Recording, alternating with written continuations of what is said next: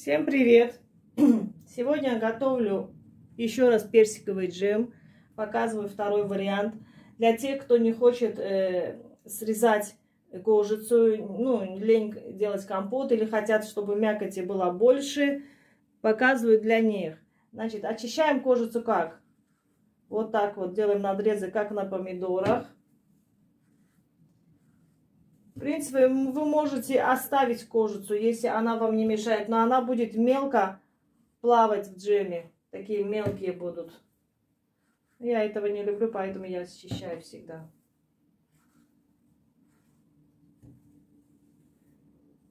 Делаем такой крестик. То есть не нажимаем на мякоть, просто только кожицу. Делаем надрез только на кожице, не нажимая на нож. Здесь у меня где-то килограмм 600 персиков. Потом взвесим, посмотрим, сколько осталось. Заливаем кипятком.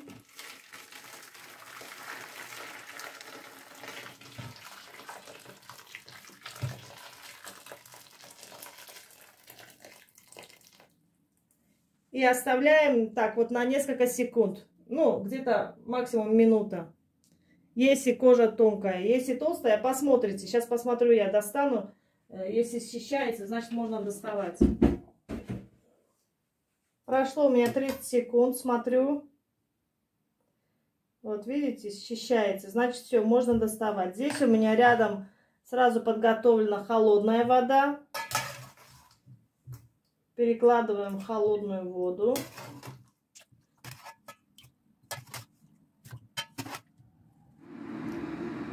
Теперь счищаем кожицу.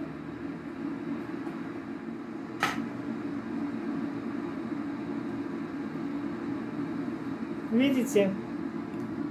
Для тех, кто не хочет, допустим, мякоти, хочет мякоть оставить,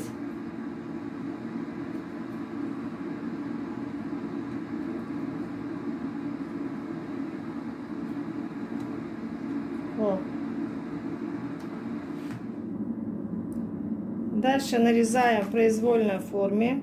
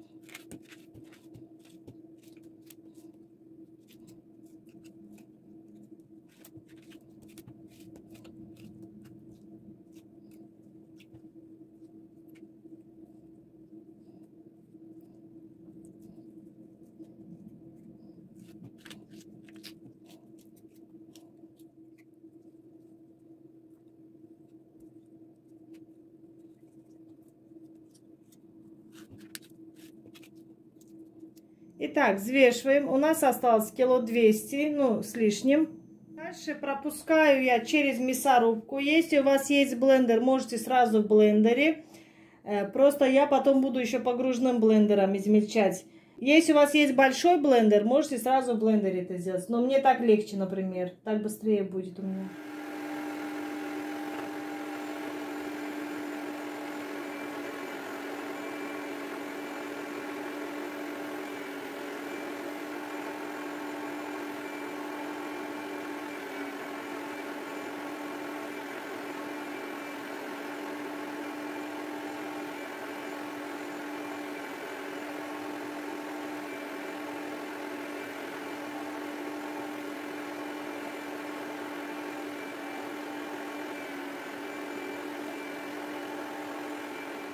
Смотрите, через мясорубку получается вот такими мелкими кусочками. В прошлом варианте, первом, я так и готовила. Когда вот э, джем готовится, там плавают такие красивые мелкие кубики. вот от персиков. Если хотите, вы можете уже так и оставить. Но сейчас я буду готовить совсем такой пюреобразный гладкий джем, поэтому я буду измельчать. Дальше покружным блендером измельчаю уже до состояния кашицы.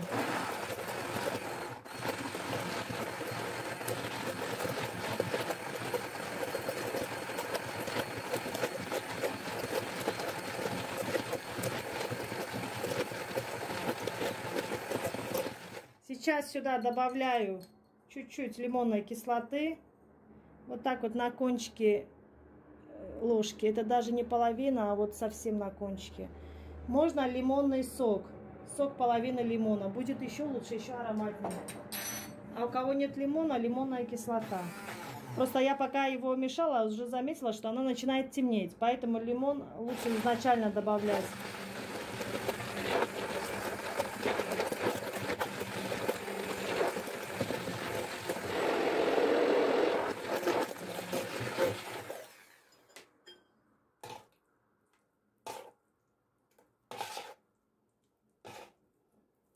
Все, комочков нет. Ну, может быть, где-то что-то и осталось, что блендер не взял.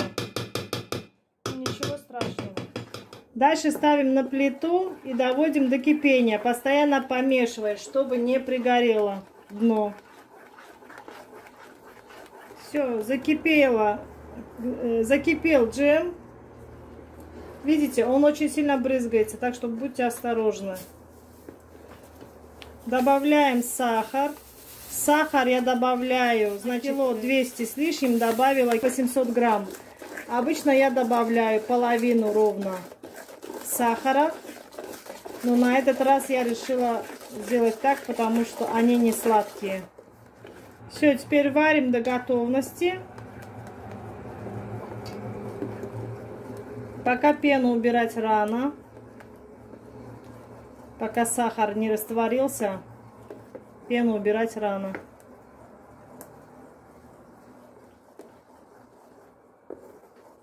Если мешать постоянно, она не брызгается. Если останавливаться, начинает брызгаться. Поэтому лучше мешать.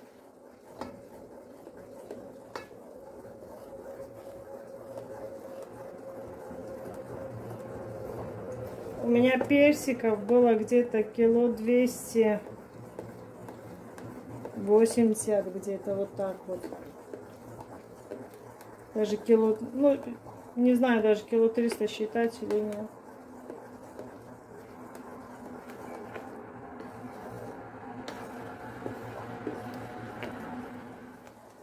Посуда у меня широкая, поэтому должно быть это все быстро.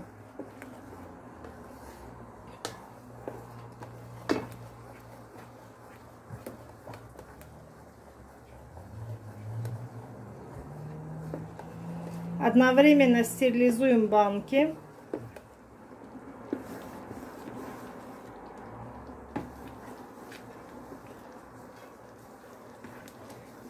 Кипит у меня уже вот так вот 5 минут. Буду смотреть приблизительно у меня через сколько времени было готово. У вас, возможно, другое время будет. Потому что у меня, смотрите, очень широкий тазик. Где-то 33 сантиметра э, диаметр. Вот. Э, если у вас будет узкая посуда, может быть у вас подольше будет. Все время перемешиваю, потому что у меня она стоит на максимальном огне. Если остановиться, может пригореть. Почему на максимальном огне? Я, как уже и раньше показывала и рассказывала. На максимальном огне она как бы цвет остается тот, который нам нужен, приятный. То есть светлый цвет, не, не темнеет. Когда долго варить, любой варенье джем, то оно темнеет.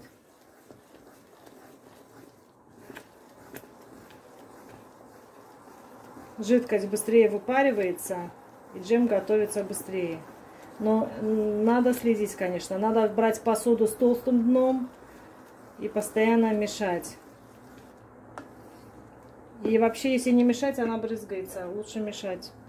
Вот сейчас уже можно взять пену, собирать. Пену можно не выбрасывать, делайте морс или добавите к чаю.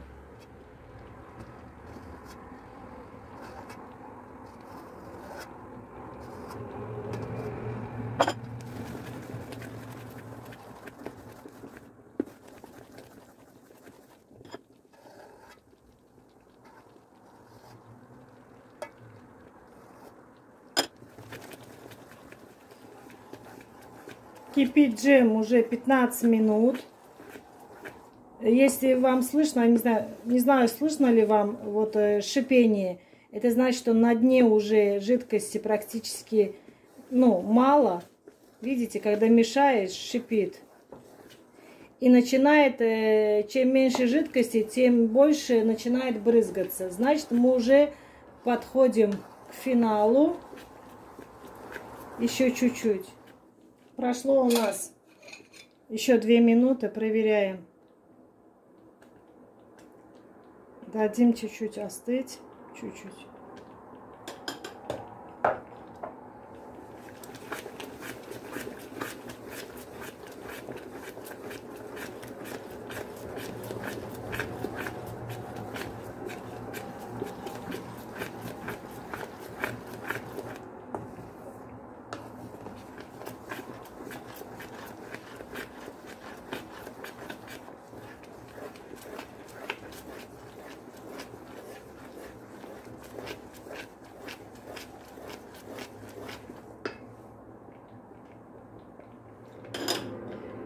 Так, проверим. Видите?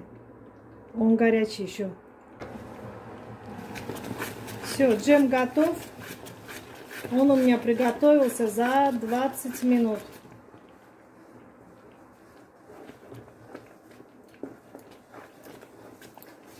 Выключаю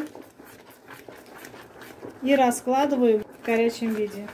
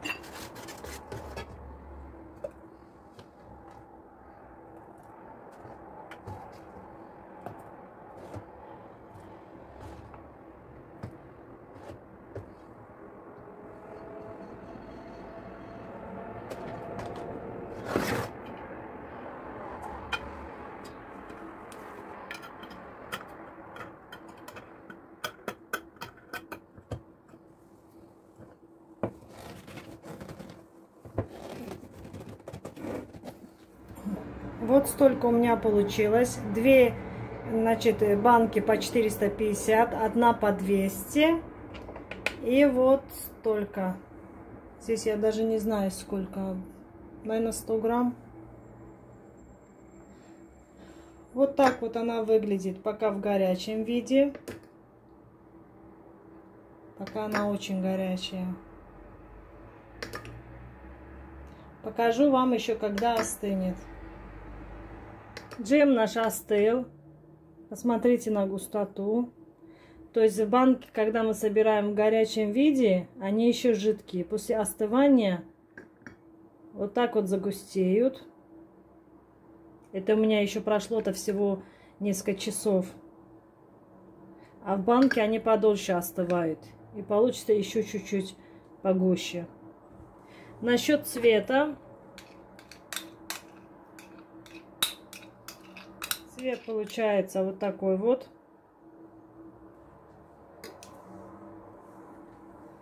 Я показала вам два варианта джема. Ну, два из многих. Один есть на канале, один вот этот вот. А какой сделать, это уже на ваш выбор. Какой вам больше понравится, какой вам удобнее сделать, такой и сделайте. Они одинаково вкусные, одинаково красивые. Напомню рецепт. Значит, э, залила кипятком, чистила кожицу, нарезала в произвольном порядке, Дальше через мясорубку, через блендер. Вы можете сразу через блендер пропустить, если у вас блендер большой. Э, то есть э, до кашеобразного состояния. Если хотите, как в первом варианте, у меня там э, просто через мясорубку пропущено, так будет быстрее и так тоже красивее смотрится. Это уже тоже на ваше усмотрение, как вы хотите. Если хотите совсем такой вот пюреобразный, гладкий, тогда вот так вот. А если хотите, чтобы там были кусочки маленькие персиков, тогда просто через мясорубку. Дальше добавляем лимонный сок, либо лимонной кислоты. Э, доводим до кипения, добавляем сахар. Дальше готовим э, до готовности. Проверяем, как э, в тарелке, допустим. Вы уже по звуку можете определить, допустим, жидкость выпарилась, там уже начинается шипеть, уже понимаете, что и булькает сильнее. Э, то есть пузыри взрываются, и понятно, что он уже готов. Но пробуйте все-таки на тарелке, вот как, чтобы линии не сходились. Я готовила где-то с момента, как закипело, 20 минут. У меня вот тазик, в котором я готовила, он был широкий. Возможно, у вас он будет 25 где-то минут, вот так вот. Ну, 5 плюс-минус 5 минут. Так что все, надеюсь, объяснила понятно. Надеюсь, вам все понравилось. Всем пока-пока!